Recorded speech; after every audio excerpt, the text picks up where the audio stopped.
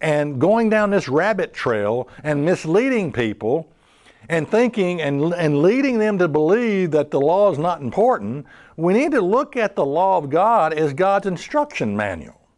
Now, in Deuteronomy 28 and verse 1, it says this, And it shall come to pass, if you shall hearken diligently unto the voice of the Lord your God to observe and to do all his commandments, which I command you this day, that the Lord your God will set you on high above all nations of the earth.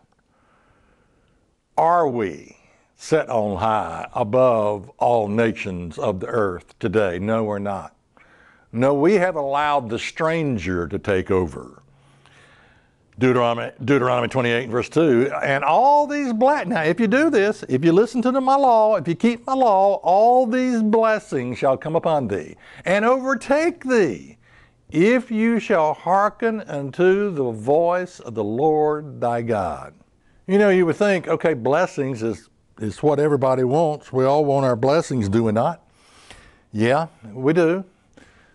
But a lot of people will look at this, well, what law? Is it the moral law? Is it sanitary laws? Is it, is it, is it the cultural laws? Is it the sacrificial laws?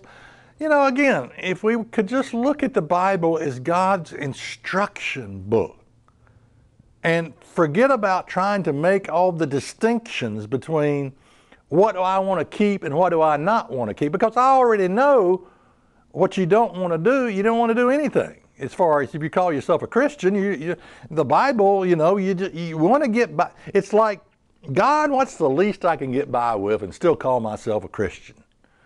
I know I'll go to church, and that's big good enough right there. I'm going to church. Yeah.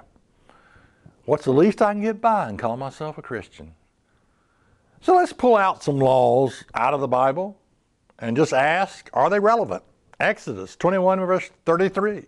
And if a man shall open a pit, or if a man shall dig a pit and not cover it, and an ox or an ass falls therein, the owner of the pit shall make it good, and give money to unto the owner of them, and the dead beast shall be his. You know, this is a law against, excuse me, neglect. Now, is this a good law or is it a bad law? You know, should we keep it? Should we not keep it?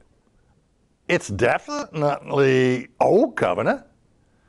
Should we keep this law today? Or should we just go around being neglectful and digging pits and allowing people and animals to fall into it and break their necks? Yeah, it's interesting. I do construction work, and you know that a lot of times there'll be a pit dug and there'll be a fence around it. You know, and I don't even, I don't even know if these people call themselves Christians who do this but it's part of the building code. This law is actually part of our building codes that are built into our system as a society to keep people safe, to keep the bum off the street from falling into the pit. Okay? Now, you know, if you bought a new car, you know, and you buy a new car, and new cars come with instruction manuals, you know, that tell you how everything works. Would you would you take off, you know, out of the parking lot and just grab that instruction manual and just sling it out as you pulled off the lot and said, well, that's, you know, that's old covenant. That's, uh, I don't, don't need that. You know, I, I, I don't need any of that stuff. I don't need an instruction manual. Well, how, how stupid can you be and still breathe? I mean, why, why would you do that? Check us out on the web at isthatreallyinthebible.com.